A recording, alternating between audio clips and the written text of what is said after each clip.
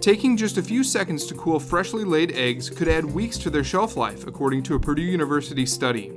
The rapid cooling process uses liquid carbon dioxide to stabilize the protein in eggs, thus extending their shelf life. You can cool eggs many different ways. Uh, traditional cooling of eggs, which would be the eggs you would find at the grocery store, those are typically just cooled under ambient conditions, where the eggs are put into a carton and they're about 105 degrees Fahrenheit, and then they cool over time. it takes about 10 to 14 days for those eggs to cool to refrigeration temperatures. The egg cooling system that we've developed here, based on using carbon dioxide as a liquid that we can spray and create a cold snow, and this snow is about minus 107 degrees Celsius, negative, um, this snow can be circulated around the eggs and we're able then to rapidly cool eggs instead of taking 10 to 14 days. We can do it in the range of seconds of treatment time. Eggs cooled under current methods lose the double A grade in about six weeks. Keener's study shows that this rapid cooling process can significantly increase this time period.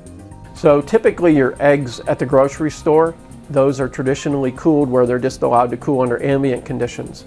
Uh, the shelf life on those eggs is usually four to six weeks. Uh, we actually looked at three different cooling regimes, minus 45, minus 60, and minus 75 Celsius.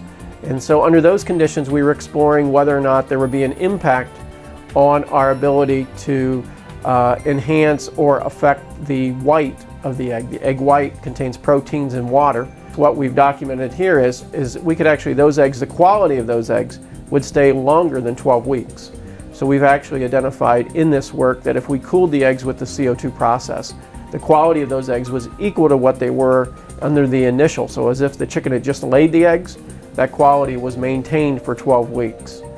An increase in shelf life wasn't the only result of Keener's research. The other part of the study that we looked at was the vitelline membrane, which is the egg yolk membrane. So you would be familiar with that when you break an egg out in the skillet, it's what contains the yolk. And so we've documented in this study that the CO2 process that we've uh, been exploring actually will maintain the structure of that membrane longer. And the potential benefit is that it would be a barrier for bacterial penetration. So in essence, the egg safety could be maintained even longer. So, so to summarize the, the results of the study, we, we documented that the vitelline membrane, which is related to food safety, can be uh, enhanced or maintained longer. And then the quality of the eggs, uh, the shelf life based on the quality can be extended from six weeks to 12 weeks.